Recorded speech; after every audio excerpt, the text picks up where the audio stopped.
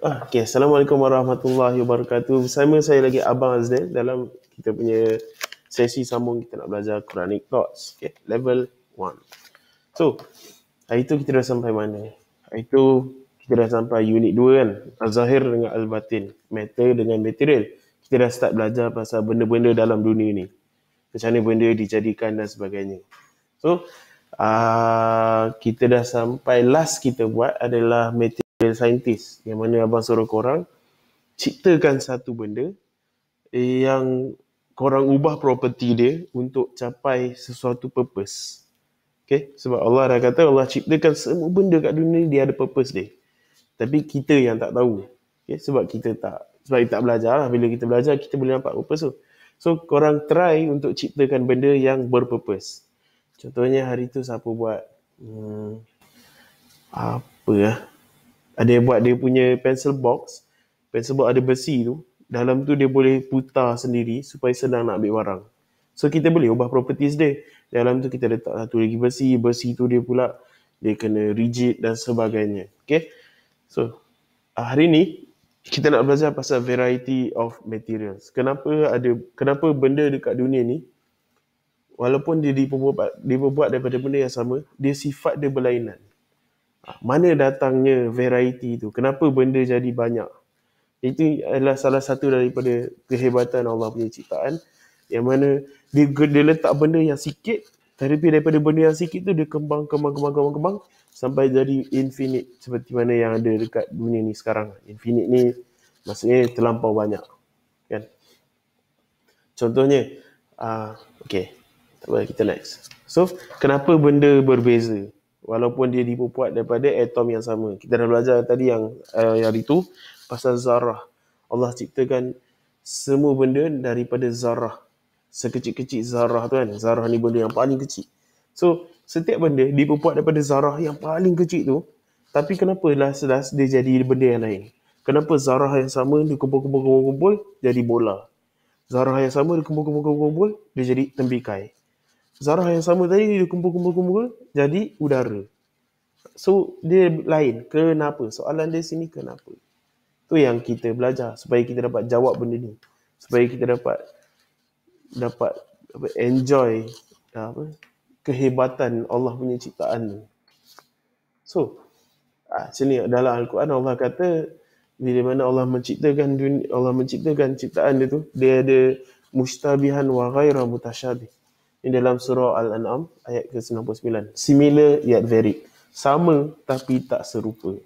Allah kata, uh, and it is he who sends down rain from the sky and we produce thereby the growth of all things. We produce from it greenery from which we produce grains arranged in layers. And the palm trees of its emerging fruit are clusters hanging low. And we produce gardens of grapevines and olives and pomegranates, similar yet varied. Look at each of its fruit when it yields and at its ripening. Indeed, in that are signs for people who believe. Mushtabihan wa ghaira mutasyabih. Ni maksud dia adalah similar yet varied. Dalam Allah ciptakan benda, dia benda tu dia menggunakan satu benda yang sama. Walaupun kat sini Allah cerita pasal uh, apa pokok-pokok dengan dia punya tumbuh-tumbuhan dengan buah-buahan dia. Sebenarnya konsep ni kita boleh pakai dalam ciptaan semua benda. Okay, eh, semua benda dibuat daripada benda yang sama, similar, which is zarah.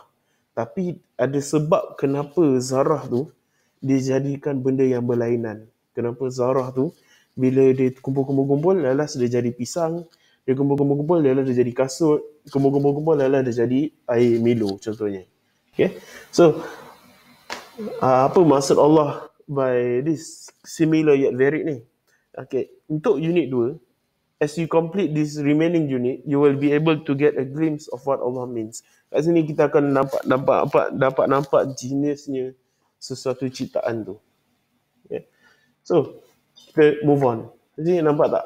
Semua benda dalam ni, dalam gambar ni dibuat daripada benda yang sama, iaitu zarah. Tapi kenapa dia jadi benda yang lain-lain? Kenapa yang atas tu jadi kopi, and then ada jadi uh, tangan, ada jadi kuku, jadi jadi kolej yang tuangkan susu tu jadi susu jadi baju dan sebagainya walaupun dia dibuat daripada benda yang sama so Kita ingat uh, kita punya nama untuk yang unit 2 ni. Unit 2 ni kita fokus kepada dua nama, Az-Zahir dengan Al-Batin. Zahir ni adalah apa yang keluar daripada satu pusat, apa yang apa yang kita nampak. Where, lagi satu pula adalah uh, Al-Batin. So Az-Zahir ni apa yang kita nampak, kita sebut dia sebagai physical property. Okay? Yang kedua adalah Al-Batin. Al-Batin ni adalah chemical property. Apa yang berlaku dalam batinun tu kan? Apa yang berlaku dalam perut tapi kita tak nampak. Tapi bila kita belajar kita tahu dia wujud. Itulah al-batin. Dia benda yang kita tak nampak tapi bila kita sadar kita tahu dia ada.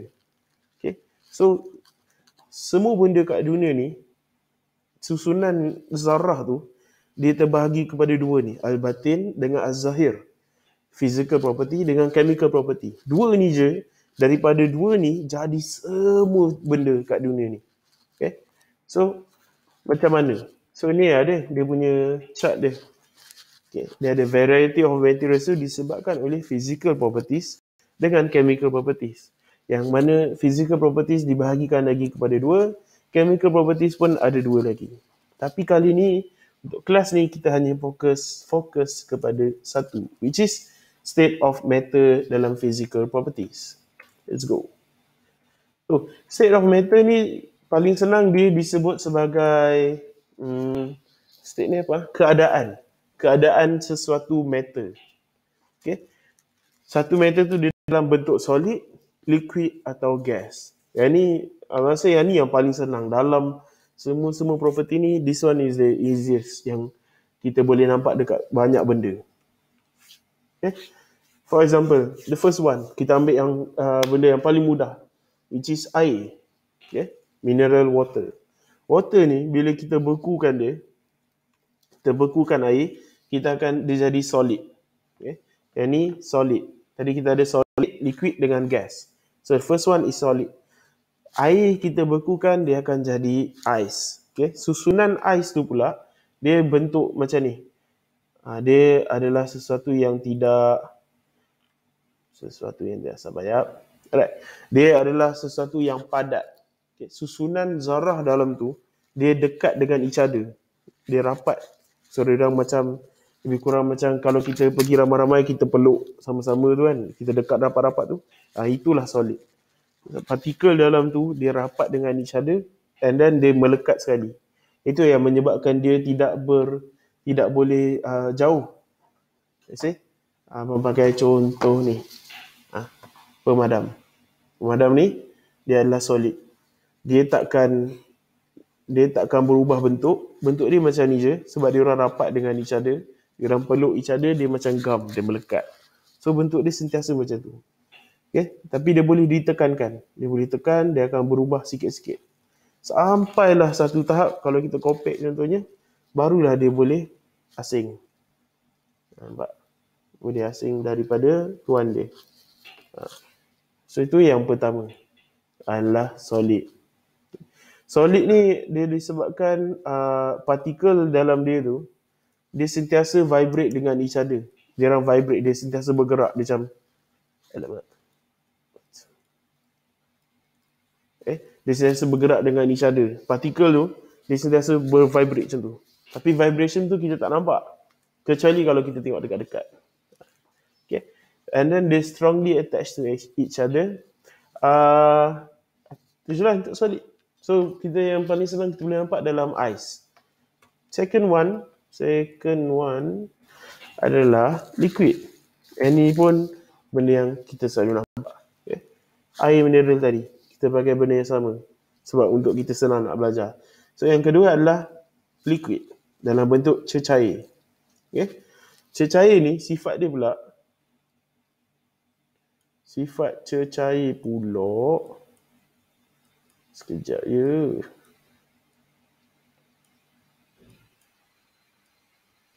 Eh, sifat cecair, sifat liquid pula, dia punya partikel dia jauh-jauh sikit. Tapi dia still pegang each other. So dia pegang each other lebih kurang macam tu.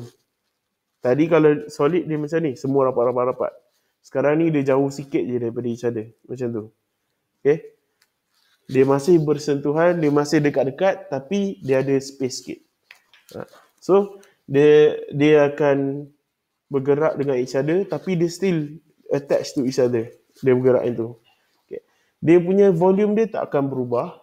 And then yang paling best pasal liquid adalah dia ikut bentuk container. Okay, macam tu kan. First dia akan jadi flat.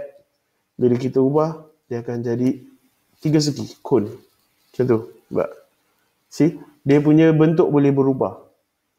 Ha, bentuk dia boleh berubah dan dia flowing. Ha, itu lah. Macam tu. Okay. Kita boleh buat dia jadi macam tu. Ha, dan dia akan jatuh. So itu adalah liquid. Okay. Yang paling kita boleh nampak liquid tu adalah dia bergerak. Solid tu dia tak bergerak. Kalau abang letak dalam botol tu bentuk dia macam ni juga. Macam mana pun dia macam ni je. Last one. Last one adalah gas. So untuk gas, untuk gas pula, dia uh, gas ni dia susah sikit sebab kita tak nampak. Tapi gas ni, walaupun partikel dia masih dekat dengan each other, eh partikel dia jauh daripada each other. Dia tadi kalau solid tu macam ni, liquid tu macam ni, so gas tu kita boleh katakan dia macam ni. Ah, dia jauh dengan each other. Tapi dia masih ada line. Dia ada bond di antara dua tu. Cuma dia jauh. And then ke gas ni dia memenuhi ruang. Selagi mana ada ruang boleh pergi, dia akan pergi. Kalau ruang tu besar ni, eh, besar ni lah gas tu akan merebak. Dia akan bergerak langgar, langgar, langgar, langgar, langgar, langgar. Untuk semua ni, um, uh, gas juga dia boleh flow, dia boleh bergerak macam liquid tadi. Tapi sebab kita tak nampak, susah nak nampak. Okay, untuk semua ni kita akan buat eksperimen nanti bila korang datang balik sekolah. Jangan risau. Kita akan buat eksperimen yang kita akan betul-betul faham benda ni. Cuma sekarang ini je lah yang kita mampu. Yeah. So, apa yang abang nak korang buat sekarang is dededeng. Okay, abang nak korang korang punya kerja untuk hari ni senang je korang punya kerja untuk hari ni adalah abang nak korang cari untuk setiap property tu, untuk setiap state of matter, solid, liquid dengan gas, abang nak korang cari objek-objek tu. Cari dua objek solid, dua objek liquid dan dua objek gas. Ha, gula lah cari gas. Dua eh. Okay. Itu saja untuk hari ni. Gula fun to game gameplay. Assalamualaikum warahmatullahi wabarakatuh. Abang akan hmm, nanti kita akan masuk dalam Zoom tu. Abang nak tengok korang punya barang yang korang cari dan abang nak korang listkan dia punya property. Alright. Assalamualaikum warahmatullahi wabarakatuh.